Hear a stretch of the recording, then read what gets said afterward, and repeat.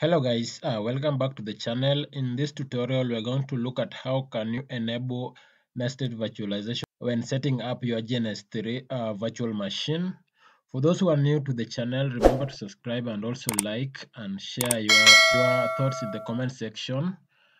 When you look at uh, this our page here, the GNS3 setting here, you can see here the, in the extended feature, we need, we need to enable a nested virtualization but it is not great. Uh, when you try to click, you can't click and uh, enable that uh, checked button.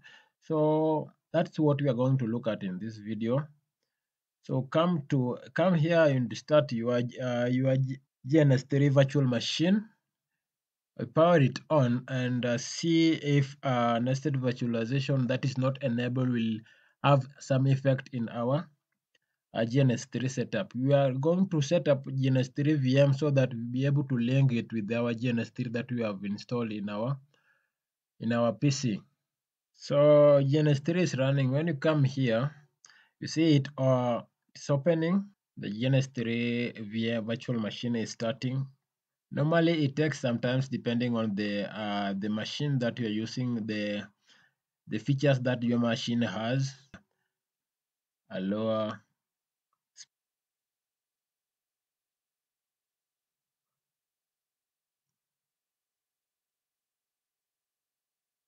So okay, the the GNS3 VM has, has started. Now, when you look at the virtualization, we are using the VirtualBox and the KVM available support available is saying it false. So this one need to be true. So that's what we are where we are going to implement now the nested virtualization and enable this one to be able to show a true. So what we do is just uh, close we are going now to power off our machine so it is powered off so after you stop the device now what we do is we come to our cmd so type cmd in our search button cmd you run as an administrator. We want to enable nested virtualization so that the kvm support uh, becomes true. So while you're in your CMD, you're going to uh, enter into this directory. So copy, Control C, then uh, CD, paste. After you enter into that uh, path, we are going now uh, to uh, turn on the nested virtualization.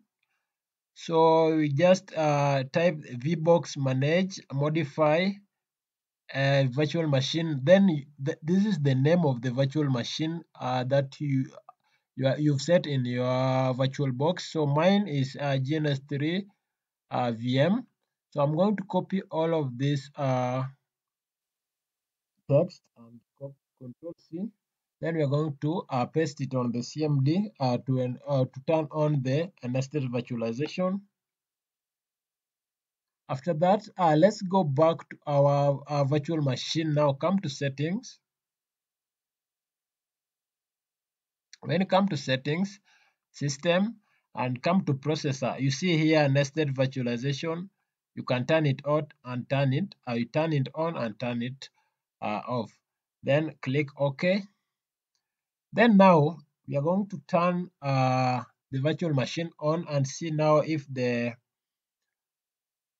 the KVM uh, support machine has been uh, true. And let's uh, wait for it.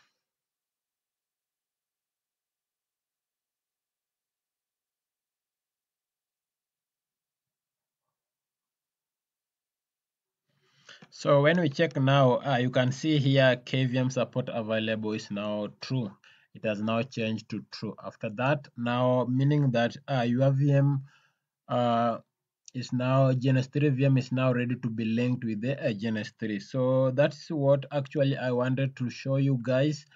Uh, what I wanted to show is now how can you